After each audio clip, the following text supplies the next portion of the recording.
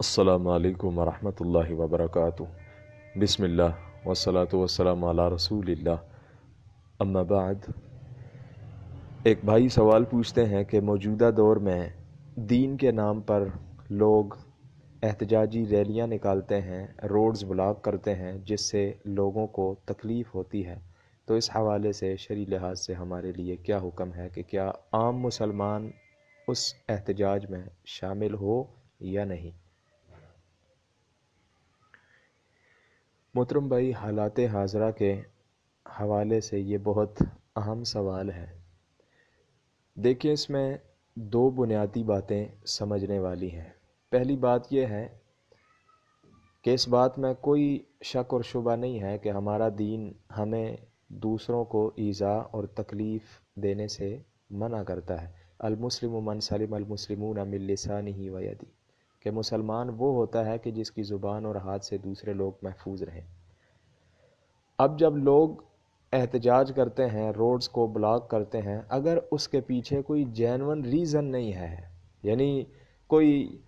ऐसी उसके पीछे माकूल वजह नहीं है कि जिसकी बुनियाद पर इंसान जो है वो ये काम करे तो फिर इंसान को इस चीज़ से बचना चाहिए। क्योंकि एक तो इसमें अपना ही नुकसान है, अपने मुल्क का नुकसान है, और दूसरा ये है कि हमारी मीशत जो है वो इकॉनमी दिन ब दिन जो है वो गिरती चली जाती है, और इससे लोगों को भी तकलीफ़ होती है। लेकिन दूसरी चीज़ जो समझने वाली है कि अगरचे हमारा मुल्क इस्लामी जमहूरिया पाकिस्तान है, लेकिन सिर्फ़ नाम का इस्लामी मुल्क है, इंतहाई मादरत के साथ, ला इलाहा की बुनियाद पर तो बना था, लेकिन जब से ये हमारा मुल्क बना है, उस वक़्त से लेकर आज तक सही मानों में कोई ऐसा हमें हुक्मरान नहीं मिला कि जो इस मुल्क के ऊपर दीनी निज़ाम को, कुरान सुन्नत को नाफिज कर सके। दावा तो बहुत सारे लोग करते हैं। यानी जब इलेक्शन की बारी आती है, हर शख्स दीन का नाम इस्तेमाल करता है, लेकिन बाद में वो गिरगट की तरह अपना रंग तब्दील कर देता है। इसमें लोगों की भी गलती है कि वो जिस हुक्मरान को सेलेक्ट करने जा रहे हैं, ना उसका हुलिया देखते हैं कि उसका हुलिया कैसा है। सिर्फ़ दावा करने से कोई शख्स शेख़ुल इस्लाम या वो अमीर अमीरमिन तो नहीं बन जाता। तो हमें यह भी देखना होगा, इसमें अवाम की भी गलती है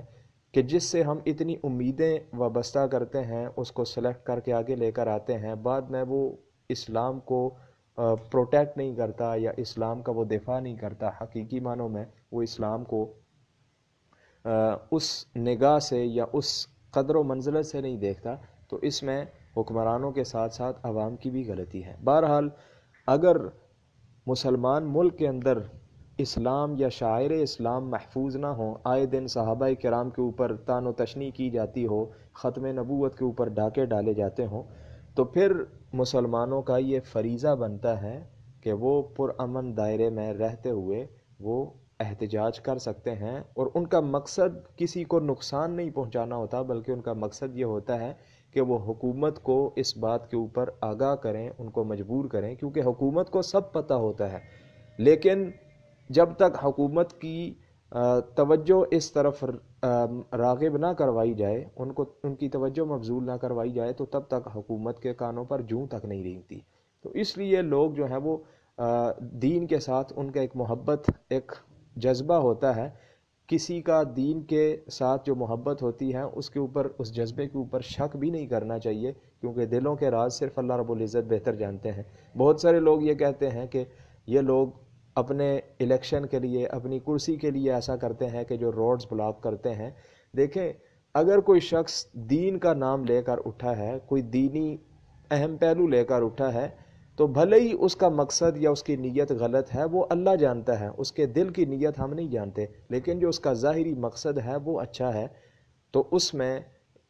हाकम वक्त को चाहिए कि वो उनकी बात सुने और अच्छे तरीके के साथ। क्योंकि उलमा से या दीनदारों से कभी भी आप ये तो नहीं करेंगे कि वो इसलिए रोड ब्लॉक करते हों कि उन्होंने ये कहा हो कि हमें किसी आला पोस्ट के ऊपर जो है वो जगह दे दी जाए। ये जितने भी इस तरह के रोड्स ब्लॉक करते हैं वो दुनियादार लोग होते हैं। उलमा या दीनदार लोग कभी भी अपने मफाद के लिए नहीं बल्कि वो अल्लाह और उसके रसूल सल्लल्लाहु अलैहि वसल्लम की नामूस इज़्ज़त हरमत की दिफा आ, के दिफा के लिए ये सारे काम करते हैं। लिहाजा ये दो अलग चीज़ें हैं इन दोनों को समझना चाहिए कि अगर तो कोई इस तरह का एहतजाज करता है कि जिसका कोई पीछे बुनियादी मकसद ना हो, यानी वो इस्लाम के लिहाज से वो फ़ायदा मंद ना हो, सिर्फ़ अपने ज़ाती मफादात हों तो फिर उसका ना हिस्सा बनना चाहिए, ना उस एहतजाज के अंदर शामिल होना चाहिए। लेकिन अगर दीन को प्रोटेक्ट करने के लिए आवाज़ उठाई जाए, पुरअमन एहतजाज हो, जिसमें लोगों को या गरीब लोगों को या बेकसूर जो लोग होते हैं, उनको तकलीफ़ ना पहुंचाई जाए, सिर्फ़ मकसद ये हो कि वो हुक्मरानों की आँखें खोलने के लिए उनको इस तरफ़ तवज्जो उनकी मबजूल करवाने के लिए हो तो फिर ऐसे एहतजाज को बुरा भला नहीं कहना चाहिए, क्योंकि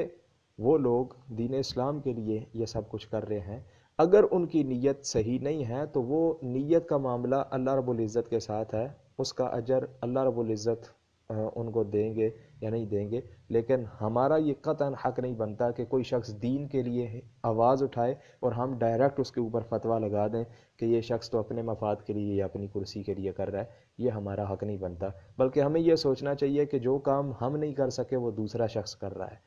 तो इसलिए नबी करीब सल्लल्लाहु अलैहि वसल्लम की इज़्ज़त, हरमत और आप सलाम की ख़त्म नबूत का दिफा, ये सिर्फ़ किसी एक शख्स का, एक तहरीक का या एक मसलक का नहीं, बल्कि पूरी उम्मत मुस्लिमा का फरीज़ा है, क्योंकि अल्लाह के नबी सल्लल्लाहु अलैहि वसल्लम किसी ख़ास मसलक के लिए या किसी ख़ास मुसलमान मुल्क के लिए नहीं आए थे, बल्कि पूरी दुनिया के लिए आए थे। इसलिए आप सलाम की इज़्ज़त, हरमत का दिफा करना और आप जो दीन लेकर आए, उस दीन की हिफाजत करना, उसकी निगरानी करना ये बहसीत मुसलमान मुझ पर, आप पर और सब मुसलमानों के ऊपर ज़रूरी है। अल्लाह ताला हमें दीन इस्लाम जैसी नेमत को समझने, इसकी हिफाजत करने और इसकी तालीमत पर अमल करने की तोफ़ी अता फ़रमाए। हाजमा आइंदी अल्लाह आलम बिसवाब अल्लाम वरहमल वर्का